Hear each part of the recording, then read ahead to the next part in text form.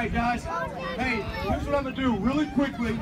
Really quickly, I want to introduce somebody that's really, really special, okay? As part of our Football N America leagues around the country, we want to be able to give back to the communities in which we play, okay? That could be putting money back into the facilities that we play or different community organizations. What we've done this year is we've selected the Challenged Athletes Foundation to as a, as a recipient of some of the funds from our league this year so that we can help put back into the community and give back. So I would like to introduce somebody who uh, has really overcome a ton, and she's going to say a few words to you, but she's from the Challenged Athletes Foundation. Here's the mission of the Challenged Athletes Foundation. Mission is to provide opportunities and support to people with physical challenges so they can pursue active lifestyles through physical fitness and competitive athletics. The Challenged Athletes Foundation believes that involvement in sports at any level increases self-esteem, encourages independence, and enhances quality of life. So right now I'm going to introduce Jami Marseilles. Okay, she's a very special guest from the Challenge Athletes Foundation. Jami lost her legs to frostbite after she and her friend were stranded in their car for 11 days during a blizzard while driving home from a ski trip in New Mexico. Jami spent the next several years spending countless hours at the gym and learning to walk on her prosthetics. After watching the 1996 Paralympic Games, Jami decided that she wanted to run. Jami realized that exercise was also key, a key to her life, and she began to train and compete with proper running prosthetics and spent years on the U.S. Paralympic track and field team. In 2001, she became the only double amputee woman to complete a half marathon.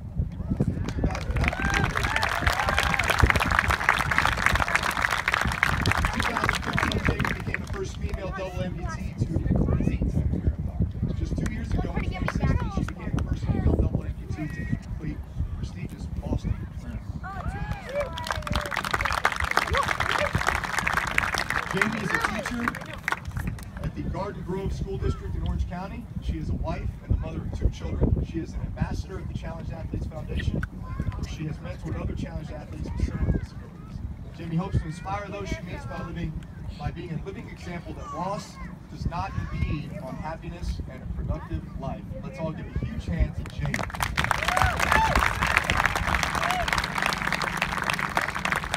Thank you, Drew. Can everybody hear me?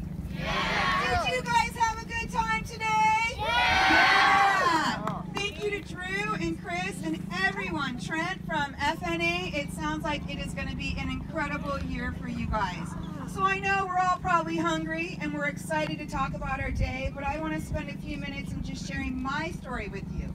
You guys all had some words of inspiration and motivation at each station. You guys learned about teamwork, integrity. I even heard the word humility. And I think that those are just a few of the words that we all need to empower ourselves with. Because as I stand here in front of you all today, I look different. I know, my legs are part robot. I think it's really cool. And that's what I've learned to embrace my differences. Because as you look around, we all look different. We're all different sizes, different shapes, even kids that are the same age, you can be a different size. And the beauty of sports brings it all together for us. When you get out on that field, you are a member of a team. You have an opportunity to do your best, as Drew said. You go out there, you run fast, but you also have fun. And that's something that I've learned in the last 30 years because as Drew told you a little bit about me, I lost my legs at 19. So I didn't know anyone else who wore a prosthetic device, let alone how does it work? Like, can I run again? Can I jump? I was really scared. And the doctors answered all my questions. They said, you can do whatever you put your mind to.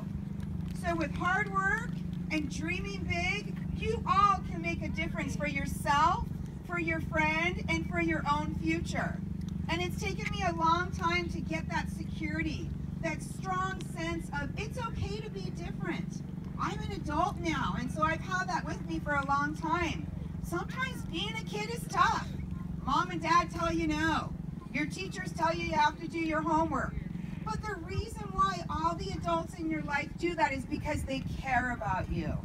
They love you unconditionally. They want the best future for you. And it starts in here, guys. It starts with each and every one of you in your own heart and your own mind to go on and be better than you were yesterday. When you go to school and you see someone sitting by themselves at lunch, go over and say hi, like this. You go, hi. Hi, my name's Jami. What's your name? Hi, Harper. So nice to meet you today. And did you see how happy Harper got when I went over and said hi and introduced myself? Yeah. You all have that power within you to make a difference for others. So I'm so honored that I got to come here today because I love my springy legs. They give me a sense of independence, a sense of strength, and a sense of power. Because I know, as Drew said, I was lost on that mountain for 11 days, and my life was saved. So every day when I wake up, I know it's a good day because I get to put my legs on. And that's kind of a funny sentence. You guys, do you put your legs on? No, No, you put your shoes on, right? But you have to look at everything as a positive. And you have to look at life as a beautiful blessing. You guys get to wake up each day and go to school. That is a blessing. You get to wake up each day and hug your loved ones. That is a blessing. And then, pretty soon, you get to come out and play at FNA. What do you guys think about that? That's going to be an incredible year. So I just want to thank all the parents your kids. I know it's a lot of work. As a teacher and a parent, I kind of wear double duty. And all the kids for coming out and giving it your best.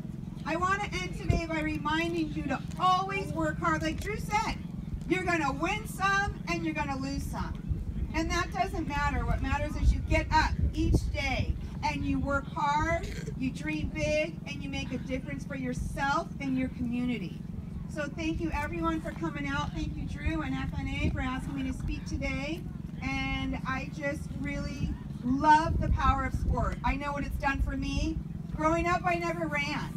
So I was kind of a lazy kid. Shh, don't tell anybody though. And then ironically, when I had my amputation, which means when they had to have surgery and give me prosthetic legs, that's when I learned to run.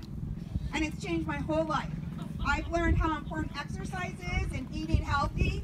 Sure, I like to eat ice cream and cookies like you guys, but I also balance that out with my healthy greens and all my good healthy choices. So remember that. Make a difference for yourself and your neighbor and your family, and you guys are going to go far in the world. Thank you, everyone.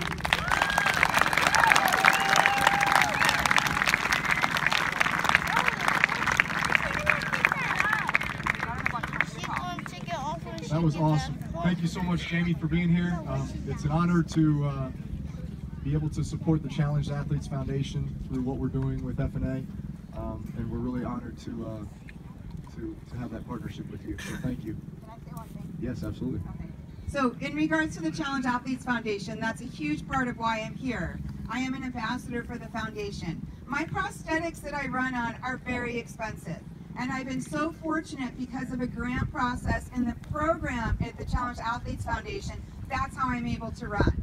So with the support of you and FNA, that money makes such a difference. And the Challenge Athletes Foundation wants people with different physical challenges just to be active. Whether you're like me and you want to run marathons, or whether you're going to go on to the Paralympics and change lives that way. But it's all about the power of sport, and they really make a difference in my life and so many individuals across the world. Thank you. Everybody deserves a chance to play sports, right? Everybody deserves that chance. We're so glad to be partnered with you, Danny. Thank you. Um, by the way, who knows how far a marathon is? Anybody? Just throw it out. 26? Point two. That's right. 26.2 miles. So just to give you an idea of about how far that is. So you guys just rotated these 12 stations right here, right? Imagine you'd probably have to run around those stations 100 times in order to run 26 miles. About right? Uh, sure. Maybe 150. Maybe 150. Huh? That's a long way, guys. It'd take you about five, six hours. All right. So what I want to do really quickly is I wanted to open up any questions to the parents. Um,